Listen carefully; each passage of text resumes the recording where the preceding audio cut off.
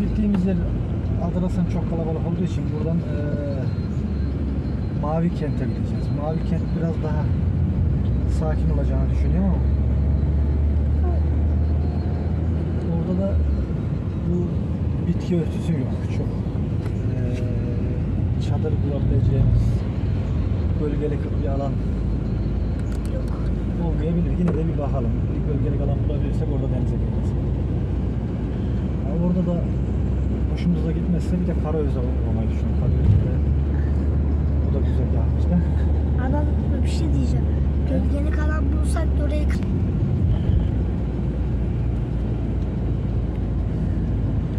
Hadi.